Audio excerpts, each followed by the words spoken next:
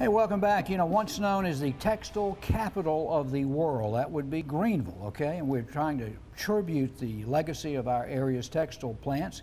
Some 13 mills in the immediate area of where we're standing. Textile Heritage Day will be held Saturday, August 24th at the site of a future Textile Heritage Park. Don Harkins is with us. Don, along with Marshall, you brought Marshall. I did. Thank you, Marshall. gentlemen. Now, so there's a uh, Textile Heritage Society. There is. We, we're about 13 years old, and we have 13 mill villages that makes up the, our group. Yeah. And we meet uh, several times a year with big uh, events, and each group has their own reunions, and uh, so It's a family. this was a family. right. This is a big plants. our big event for the, the 13th year in a row, our Textile Heritage Festival, and we invite all of the local folks to come out, people that may be new to the area that Mm-hmm. want to find out more about the uh, Greenville's history. Was- is it- Textiles was king. Is It was. i- are we kind of an anomaly because we had so many that were right there, so close They were together? Some within just a few miles of each other, Well, it- even less than that. Isn't the planned park at one of the former mill sites? The It Union- is. Working It's the the old, uh, old Monaghan Mill parking lot. Really? But before we had automobiles, it was a park back in the early 1900s. It was called Central Park, Right. Uh-huh. and so we're returning it back to its original use. And uh, we're Is excited. Monaghan one of the ones where Shoeless Joe played? Did he was play? close Okay. by. I'm not sure if he ever played for Okay. Monaghan or couldn't but he played for several different. Well, he played Yeah. in the textile leagues. That, that wouldn't have been a Joe Jackson had we not had mills for him to work at. Exactly. Right. Exactly. And uh, tell us about the event. What's going to be going on? I know it's free admission. Well, it's free admission, uh, Jack, and we have exhibits there from all the mills that will be there. We have an entertainment, we have a textile heritage band that will be playing in concert. We have a textile heritage chorale that will be singing. Then there's a group called Heart Sound, which is uh, uh, four gentlemen who will be singing. So it just, it's there for people to come. It's kind of a re- reunion atmosphere. People come and enjoy. There'll be food for, but there'll be food vendors there, as well as displays. And it's just a time to get together and kind of reflect on the time that we had together as textile people. Sure. Because what were some of the things that, you know, were made in these mills and, and were done? Well, what we're all wearing was made in these mills. Uh-huh, all the clothes, all the cotton? Yeah. Everything. Yeah.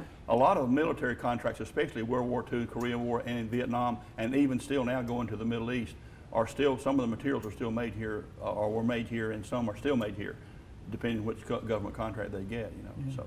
And, and still mills are around. Yes, I. I have friends in Gaffney. Their mill makes uh, pockets for pants. Right. They have to be made. Well, the, we, on TV, there's an advertisement for these awnings that go in and out. The material is actually coated and made at Dunean plant Yeah. here in Greenville every day. Right. That is so, and who would have thought, you know, back in the day you had these big mills and then when it kind of moved away and then now they're, you know, restoring them and putting these, you know, Right. apart, they, I mean, it's like the trendy thing. Yep. Well, it's Yeah, good the they're making Monaghan Mill where I grew up is uh, Law, the Lost Lofts? of Greenville now. Okay. Right. Just right across the street. So both you guys worked uh, as younger men in mills.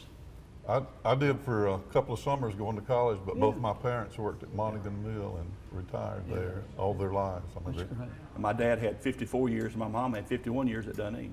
So we grew up in that atmosphere. I mean, such a tight knit, It you was. know, group. ma'am. I mean, because you, you you lived and you worked all right there. I mean, that was your community. You took Right. care of each other. A lot of great baseball players came out from some of these Yeah. mills. What What did you bring us? You brought us some pictures, I know, and We- we a pocketbook for Megan, I guess. Yeah, Yeah, that that's was, I uh, like a that. tool, uh, Carry portable tool bo- box for the weave room. for the weave room. And uh, Wow. we've got a couple of pictures here from Judy Aiken Young, who will be with us next Saturday. She's an artist and does wonderful pictures of the old mill villages. And, uh, Right.